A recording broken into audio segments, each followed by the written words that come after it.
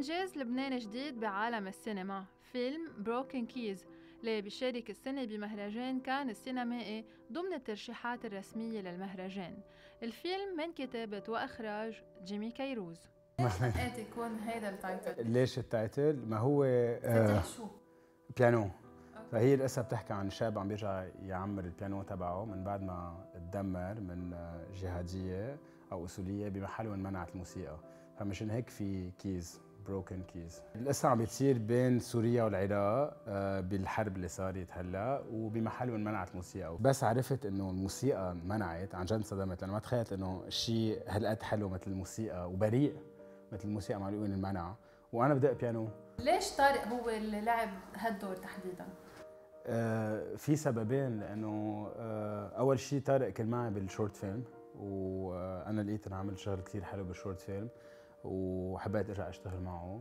وكمان هيك طارق يعني شكله شخصيته اللي هو قطع فيه شخصية من حياته لقيته هيك قريب شوي من كريم اللي هو ال main character تبعنا. كمان not just يكون بيكان للفيلم. أكيد لا. لا مش معناتها ما كنا إنه يعني كل واحد بيحلم بيحلم بكان وكل واحد شو كان هدفك الأساسي من الفيلم؟ إنه شو؟ بس تعملي فيلم أو الهدف الأول شيء الاولي من الفيلم إنه هيك إنه أنا I hope إنه فيك توصلي message للجمهور و message يكون حلو وبس يحضروا الفيلم يطلعوا منه هيك مع مع perspective جديدة على على الشيء اللي عم نخبره. مزبوط ما في festival مزبوط ما رح نروح physically على كان مزبوط ما في جوائز بس هيدا أحلى push يعني. كان آه، أهم festival بالعالم. We were honored to work with Gabriel Yared which is للموسيقى an Oscar winner a BAFTA Golden Globe winner. زعلت على قصة البيانو. لا زعلت ولا شيء. يلا وين بابا؟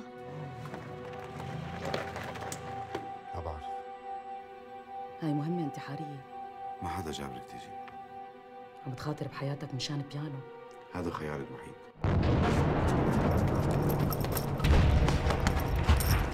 بدي إياك معنا.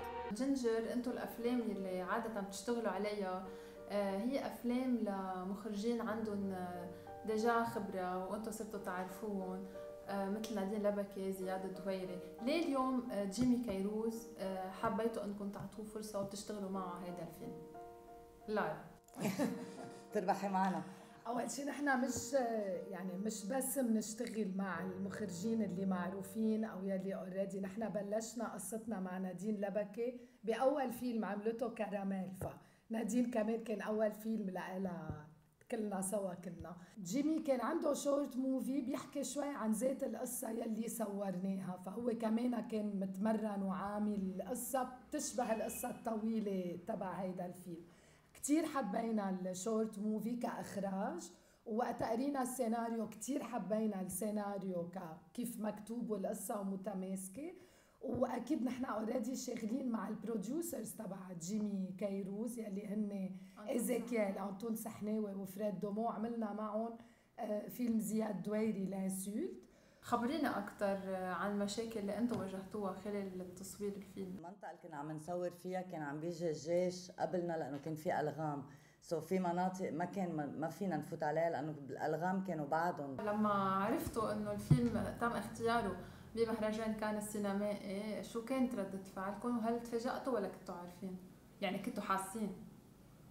أنا personnellement كنت حاسة إنه الفيلم رح يوصل آه. يعني لا أكيد ما وقت تقري السيناريو وتتعرفي على المخرج دغري بتعرفي إذا هذا فيلم حصان ربحان أو حصان خسران